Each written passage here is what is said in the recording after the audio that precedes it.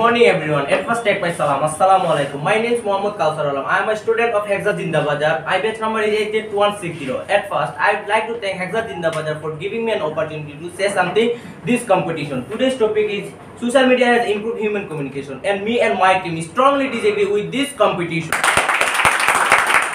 There are several reasons behind this such as district mind facilitated hacking and so on. Most of the time, most of the time anti-social contact via through the social media through the social media mm.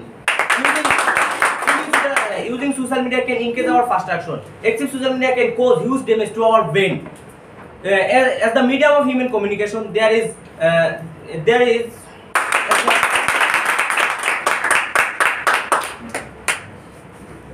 the media uh, the medium of human communication is getting out day by day various difficulties are being created in our society through the social media. Honorable judges, can you imagine which element are missing nowadays? That uh, the element of damage our brain, damage our eyes, friendship, enjoyment, and much more is being created. Our uh, is being uh, is being missed out suicide constantly. At present, due to the social media, there is no self-respect among the people, especially among the youth. Honorable judges,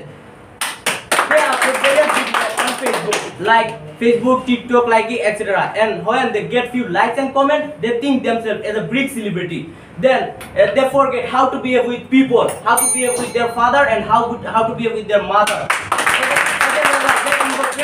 in our society, like uh, they involve uh, drug addiction and so on